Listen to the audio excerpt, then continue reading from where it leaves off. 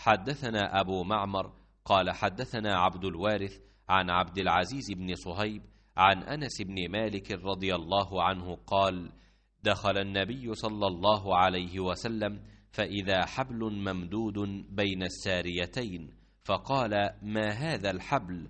قالوا هذا حبل لزينب فإذا فترت تعلقت فقال النبي صلى الله عليه وسلم لا حلوة ليصلي أحدكم نشاطه فإذا فتر فليقعد.